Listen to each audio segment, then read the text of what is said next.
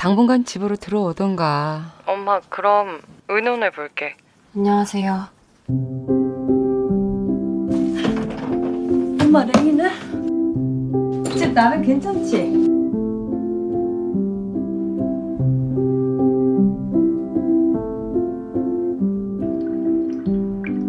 아주머니 댁에서 지내신 여자분이요. 딸의 친구 뭐.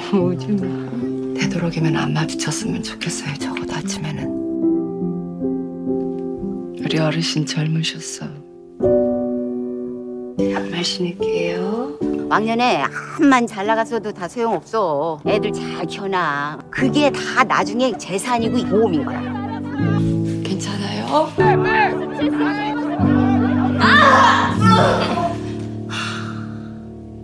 너답게 산다는 게 이거야? 너희가 뭘 어떻게 할 수 있는데? 가족이 될 수 있는 거냐고? 엄마 같은 사람들이 못하게 막고 있다는 생각은 안 해? 저희 7년을 만났어요. 같이 있는 거 그거 하나 저희 마음대로 할 수 있어서요. 가족이 있었으면 오늘 일 이렇게 넘어가겠습니까? 어떻게 저게 남의 일이야? 우리라고 저렇게 안 될 줄 알아?